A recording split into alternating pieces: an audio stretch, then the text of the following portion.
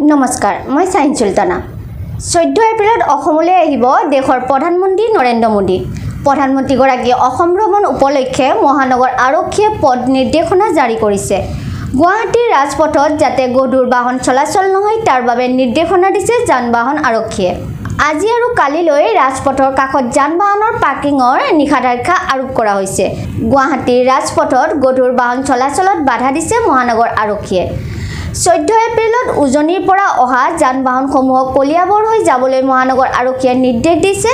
নামনিৰ পৰা অহা বাহনসমূহক আৰক্ষীয়ে বাইহাটা তেজপুৰ পথেৰে আৰু ধুবুৰীৰ বাহনসমূহক নৰনাৰায়ণ সেতু হৈ যাবলৈ নিৰ্দেশ দিছে।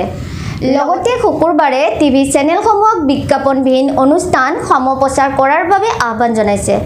উল্লেখ্য যে সৰুসজাইত বিশ্ব অভিলেখৰ ঐতিহাসিক মুহূৰ্তৰ প্ৰত্যক্ষ কৰাৰ বাবে যিসকল লোক যাব তেখেতসকলৰ যদি কাৰ পাছ নাথাকে তেন্তে তেওঁলোকৰ বাহন নানামিবলৈ নিৰ্দেশ দিয়া হৈছে। আনহাতে সাধাৰণ জনতাক আহ্বান জনাইছে যে গুৱাহাটীৰ ৰাজপথেদি চলাচল নকৰি তাৰ পৰিৱৰ্তে গুৱাহাটীৰ ভিতৰৰ ৰাস্তা G S M G A T road দি চলাচল কৰিবলৈ আৰক্ষীয়ে আহ্বান জনাইছে।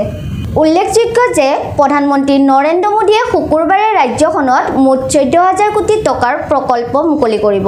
ইয়াৰ উপৰিও আপকে দ্বাৰা আয়ুষ্মান অভিযান আৰম্ভ কৰিব। অন্য কাৰ্যসূচীত প্ৰধানমন্ত্ৰী মোদীয়ে কেইবাটাও প্ৰকল্প যেনে Assam advance health care innovation institute Palashbari Sualkuchi সংযোগী দলঙৰ আধাৰশিলা স্থাপন কৰাৰ উপৰিও ৰংঘৰ আৰু শিৱসাগৰ সৌন্দৰ্যবৰ্ধনৰ আধাৰশিলাও স্থাপন কৰিব। আপোনালোকে চাই আছিলে সংবাদ পঢ়ি আৰু সংবাদ পঢ়িৰ সৈতে সংযুক্ত থকাৰ বাবে ধন্যবাদ।